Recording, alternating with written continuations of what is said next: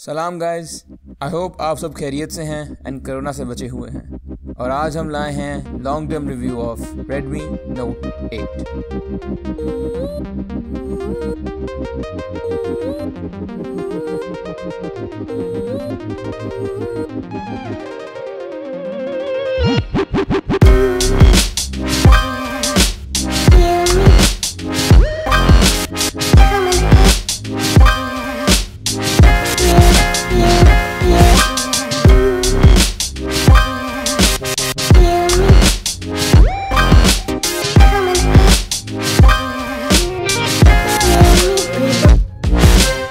mid range market में ये set काफ़ी अच्छा है। ऑन पेपर इसकी स्पेक्स भी सॉलिड हैं।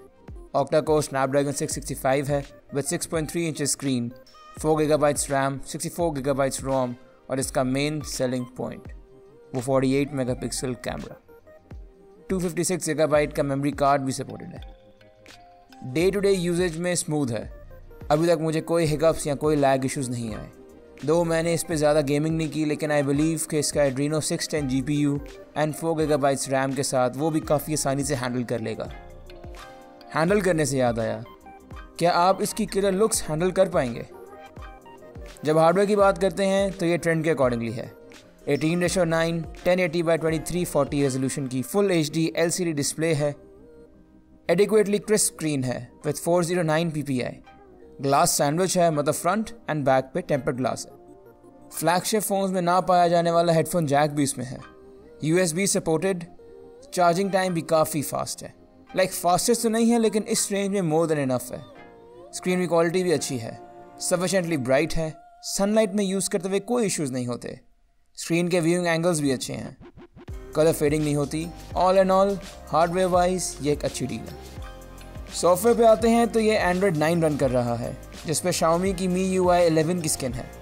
नॉट माई फेवरेट लेकिन पहले के मुकाबले शाओमी ने अपना यू आई को बहुत क्लीन किया है। बग फिक्सेस रेगुलरली करते हैं सिक्योरिटी पैचेस भी इन टाइम आते हैं। इनफैक्ट मैंने रिकॉर्डिंग के दो वीक्स पहले ही मे का सिक्योरिटी पैच अपडेट किया। और अगर आपको इनका सॉफ्टवेयर नहीं भी पसंद तो सिंपली कोई launcher like Nova launcher use करके अपनी मर्ज़ी का बना लें। शाओमी के अपने यूजुअल फीचर्स और इनका in built screen record is always welcomed setting में सर्च फीचर मुझे बहुत पसंद है और मैं बहुत एक्सटेंसिवली यूज़ करता हूँ। ऐसी छोटी छोटी बातें आपको डिवाइस पसंद करने में हेल्प करती हैं। जो चीज़ पसंद आएगी वो है इनके cameras 48 megapixel main shooter 2 megapixel macro and 2 megapixel ultra wide lens pictures and videos come out to be clean of course मैं ये नहीं कहूँगा कि ये आईफोन 11 प्रो या सैमसंग की नोट सीरीज़ वाली क्वालिटी होगी but price wise better than most in the class कभी कभी पिक्चर्स मिस और हिट वाला सीन हो सकता है।